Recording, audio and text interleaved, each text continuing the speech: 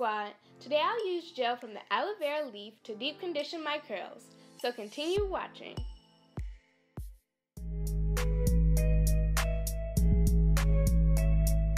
Before I get started, go ahead and click that subscribe button and turn on your post notifications so you can be notified each and every time I upload a new video. So I start by cutting off the end of the leaf. As you can see, it is packed with the gel I will be using. I cut the leaf into several sections. Now I cut off the pointy sides of the leaf. Next I slice off the skin of the leaf Please be careful. The gel inside this plant is very slippery.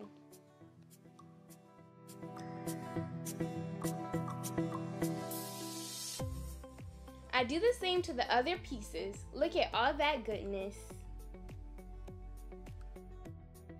I end up cutting up two aloe vera leaves because I wasn't sure if it would be enough for my hair, but trust me, one is definitely enough. So next I add the aloe vera gel to the blender. I also add olive oil and castor oil to the mix. Then I pulse this mixture for several seconds until it's a foamy consistency. So I start off with freshly washed hair and I place my aloe vera mixture into an applicator bottle. Next I place my hair into workable sections. Next, I'm going to apply my gel mixture to my curls and scalp. Aloe vera promotes hair growth, prevents itching on the scalp, and reduces dandruff.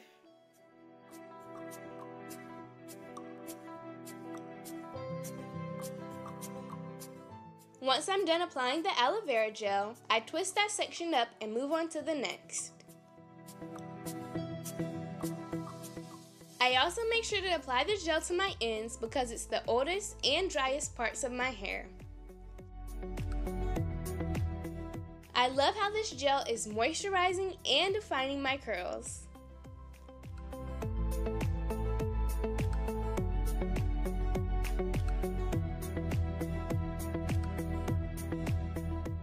My curls are bouncy and soft. I'm loving this gel.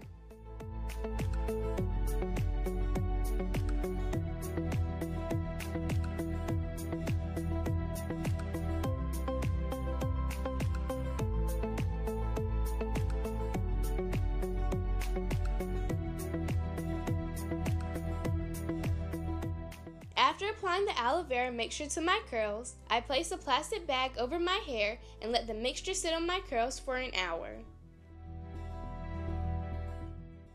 Okay, my hour is up and I just follow my normal wash day routine from here. If you'd like to see my wash day routine, click the link on the screen.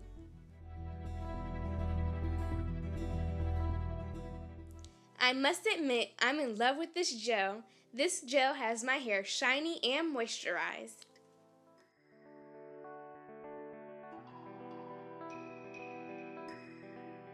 Like I stated before, I just follow my normal wash day routine. Don't forget to follow me on all my social media at Jadis2Lit. Don't forget to hit that subscribe button and give this video a thumbs up. And remember to always stay lit. Bye!